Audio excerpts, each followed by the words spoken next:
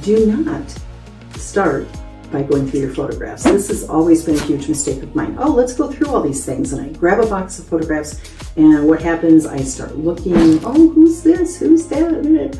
And what it does is it distracts you from getting further along in your cleaning.